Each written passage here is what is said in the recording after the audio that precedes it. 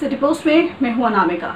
बिहार की राजनीति में तालिबान की एंट्री के बाद अब अफ़गानिस्तान की भी एंट्री हो गई है। जी हाँ, राजद के प्रदेश अध्यक्ष जगदानंद सिंह द्वारा आरएसएस की तालिबान से तुलना किए जाने पर भड़के बिहार के पूर्व डिप्टी सीएम और भाजपा के वरिष्ठ नेता सुशील मोदी ने एक के बाद एक ट्वीट कर राजद और लालू परिवार पर हमला बोला। इतना ही नहीं, उन्होंने ट्वीट करते हुए बिहार में राजद के कार्यकाल को आज के अफगानी शासन बता दिया।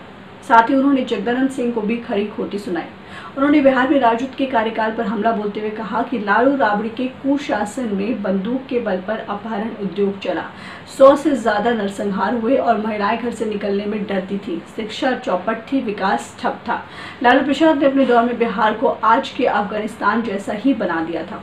लालू के जेल जाने पर उनकी खड़ाऊ सरकार चलाने वाले जगदानंद को राजद में छिपा तालिबान क्यों नहीं दिखा? बिहार के पूर्व डिप्टी सीएम और भाजपा नेता सुशील मोदी ने लालू परिवार और जगदानंद सिंह को निशाने पर लेते हुए कहा कि राजद के छोटे राजकुमार की इच्छा के मुताबिक काम करने और बड़े राजकुमार से लगातार अपमानित होने के दबाव में जगदानंद जो है, वो मानसिक संतुलन खो रहे हैं। इसलिए वो हिंसा में विश्वास करने वाले बर्बर तालिबानियों की तुलना राष्ट्रीय स्वयंसेवक संघ यानी कि आरएसएस से कर रहे हैं। लालू परिवार की भक्ति पुत्र मोह और वोट बैंक की राजनीति करने में जगदानंद इतना नीचे गिर जाएँगे, ये किसी ने सोचा भी नहीं होगा।